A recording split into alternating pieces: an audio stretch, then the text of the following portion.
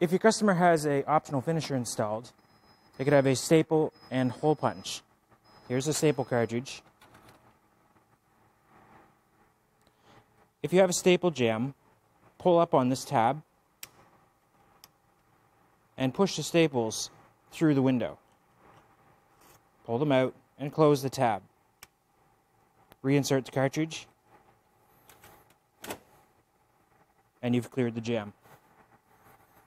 For the hole punch, once you take it out, you should empty it and then put it back in.